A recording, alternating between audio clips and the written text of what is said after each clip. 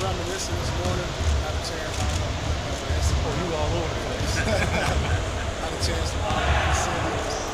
Uh, about Fenway, to the bridge, to, pictures at the. So I'm just soaking it all in, man. You know, uh, just enjoying the city. It's a city that I've played in for 15 years. So many living, doing so many things here.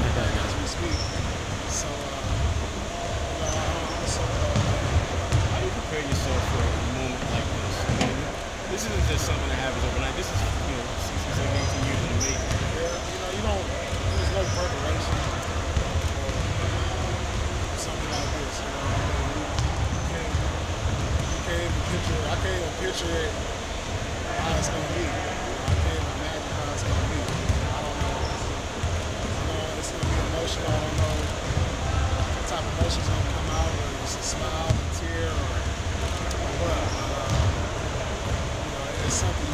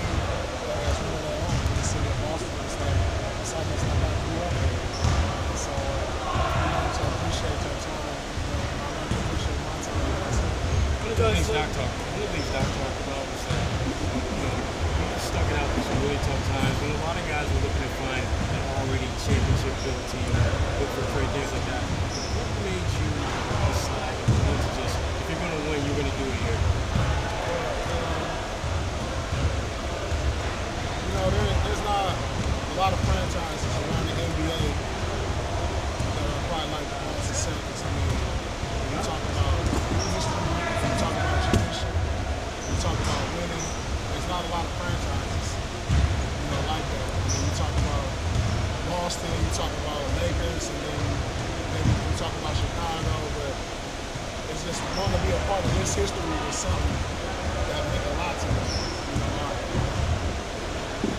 you can't say that about anywhere else too much. You got 30 something teams in the NBA and there's only like three or four that has a true history of Spurs.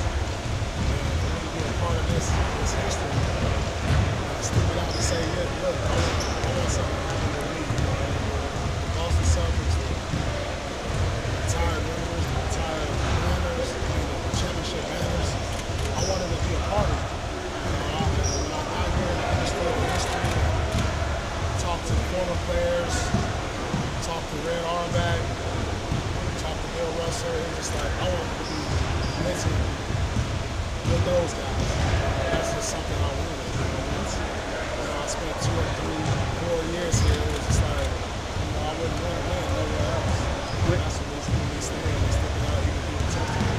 did you get that sense of history from?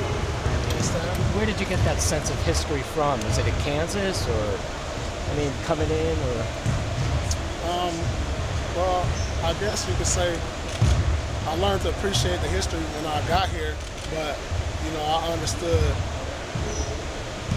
what history and what tradition was all about at Kansas. And, you know, what better franchise to play for than the Boston Celtics when you talk about history and tradition I was able to get a taste of that at Kansas, and, and I know what that felt like. And then to get it at the ultimate level of the NBA, it, it was just it meant so much more. And I, like I said, I wanted to be a part of it. Paul, do you still think of the irony of being from LA, being a fan of the Showtime Lakers, probably hating the Celtics as a kid, and now being one of the more beloved Celtics in history? Does that you still think of that? Man, I was just talking to somebody about that this morning. Know, just a kid from LA grew up walking distance from the Forum, where you know a lot of the battles between the Lakers and the Celtics went on, and then to not like the Celtics and then to play for the Celtics and then win a, champ, win a championship against the Lakers. I mean, it's like it's, it's, it's probably as ironic as it gonna get Yeah. as far as a, as a as a career and the way it went down. So, you know, it, it, it's it's crazy how some things work in your life, and you know when you get when I get picked tenth pick by the Celtics, a team that I didn't even have on my radar. You know, you just knew it, it was for a reason. You know, and that's something my family talked about the draft day. You know, when I got picked, it was like, you know, you here for a reason, and now now I'm starting to like as 19 years pass, you're starting to figure out that reason of why you got picked there. Does this particular appearance sort of drive home that this is it for? This is your last Oh, definitely. I mean, it just I know when I when I step foot in that garden that this is the last time as a player. It just you know it's just gonna remind me. You know, this is this is my this is it for me. This is sort of like my goodbye.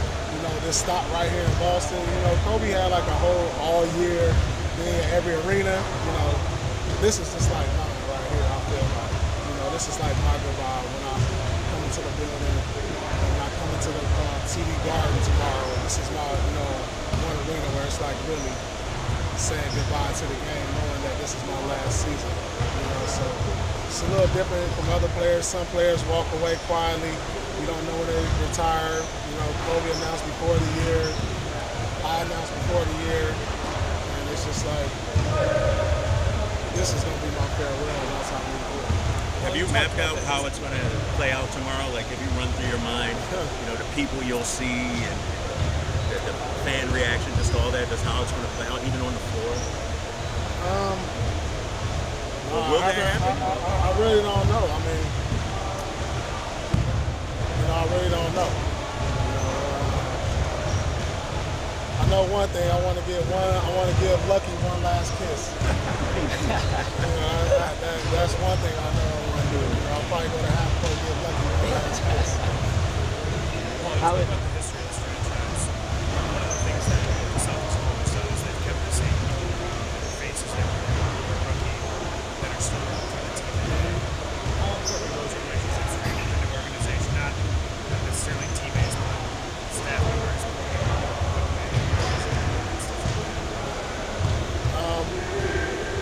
you know, when you have people around that's been around like that, it, it, it, it- it's great because they can share in your history, they can share in your story. You know, so it, it's like a friend that you grew up with, a close friend that you grow up with. When you share a story with somebody, it's like a confirmation. You know, when you go back, you know, guys like the equipment manager, you know, they can share your story with uh, new people who come in. Know, and that's the value of, having people who's been there, who's seen it all. You know, especially in one franchise, and it's just like your story never gets forgotten. You know, it carries on. So you know, hopefully my story and my history with the Boston Celtics just can be carried on. The behind the scenes stuff, you know, the stuff that people don't see. A lot of people see the stuff that happens on the court. But, you know, with the workers and the ball boys and equipment managers, they see the stuff behind the scenes and they, they give you a different perspective on things that other people can't give you. And that and that's the stuff that you value, the other stuff, you know, the, the Paul Pierce getting to the gym at three o'clock or seven o'clock game, you know, stuff people don't see. Paul going to the gym at night, uh, ten o'clock after a loss. You know, that's the stuff people don't see that the people who've been around who've been in, in that in that position can, uh, can give that type of story that a lot of people don't get a chance to see. And, and I have value on those people. You bring all your family out this weekend and something like for your wife, your daughter, your son, and I be with you. You I didn't bring my, my kids out. I brought my wife. Uh, my kids probably won't remember a lot of the time I spent here because they were young. My son, he was just born last year. Um, you know, I, I'm eventually going to run him out, hopefully uh, a jersey retirement or something. And I think, you know, but my wife, you know, she's married. You know, she was here for the championship. And Liberty won championship. My daughter was just born a couple months before we won. She was two months years old, two two months old. So uh, I just thought I'd bring her out and we can go to some of the restaurants, see some of the people that we knew uh, we lived here, kind of enjoy that way. You know, I don't, I don't want to be stuck in the room with the kids all the time. And so that's what we decided to bring them out. Uh, no, I mean they just young. They just young. Man. They just young.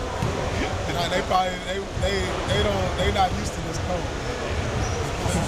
Paul, have you This is cold. Paul, have you discussed with Danny any uh, positions with the Celtics after you retire? Would you come back here and work? You know, if if it was an opportunity like that, I definitely something I would consider. Uh, you know me and Danny uh, stay in contact, and so uh, you know, just being a part of this franchise for so long. I mean, the opportunity presents itself, maybe I, I think I will consider. How um, difficult would it be to give up the warm weather and come back up? That would be kind of difficult. huh? I mean, I lived in cold weather a lot longer than uh, warm weather. I mean, if you consider the 15 years I spent here, one in New York, three in Kansas. That's already 20 years of my 30 years. Uh, Washington. so I probably I lived in the snow a lot more than I lived in the warm. You remember your first game? What's that? Do you remember your first game? Yeah, you know, somebody just reminded me, uh, and I don't know if this is true. Maybe you guys can tell me it's true. But uh, I guess you know, '99. Got drafted in '98. We played the first game in '99. And somebody told me that first game was February 5th in the Garden. So I'm not even sure if it's true. Somebody texted me that, and, and, and for me to be coming here for a February 5th game for my last game in the Garden, that, that's pretty ironic. So I, I'm not really sure if it's true, but somebody texted me that like about an hour ago. Is that true, Forsberg? true, yeah. It is. See, I just found that out. That's that's. See how things work. it's unbelievable. Are you going to be distracted at all with the Patriots? I probably will be distracted. I'll probably be asking, being a locker room asking what the score is. I think we, the game won't start until our game ends, though. But we'll be on the flight. You can't uh, lobby to get Doc to let you watch that game? I mean, I, I wish we could just stay here and watch the game, then fly out. But we were, we were in the air last year for the Super Bowl, but you know, th- this is a huge game. I mean, that, I mean, it's the Patriots. oh man, I'm pumped up for that game. That's gonna be a good game. That's gonna be a good game. This city is gearing up. I already see the city gearing up. I see the flags on top of the, the four season, the Patriots flags. Oh man, they're everywhere. You ready? I see. You take pride in what you helped build, kind of like with the trade to Brooklyn, they've been able to assemble this roster. Hey, that's my way of leaving and giving back. it wasn't intentional. I mean, I wish I could have still been here. Uh, but if I'm gonna leave, at least I, I did something to help the franchise. I gave some value by leaving. Paul, has it been a difficult year not being able to play as much as you'd like? Um, yeah, it's been difficult. I mean, especially me being a competitor and wanting to be out there and, you know, just feed my competitive juices. Uh, but, you know, I've taken on a different role and, you know, in the locker room and, you know, being a leader to these, these younger guys and helping them understand what it's, what it's going to take for us to get to that next level. And I understand that. And so uh, it's been comfortable. You know, I've been I've come at, to peace with it. You know, I still come to the gym early. Uh, like like if I as if I'm, I'm a rookie, I still get here early. I mean, everybody can tell you that.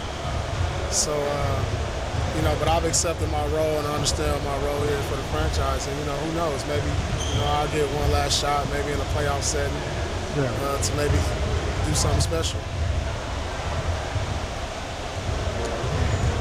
That's it. Thank you, Paul.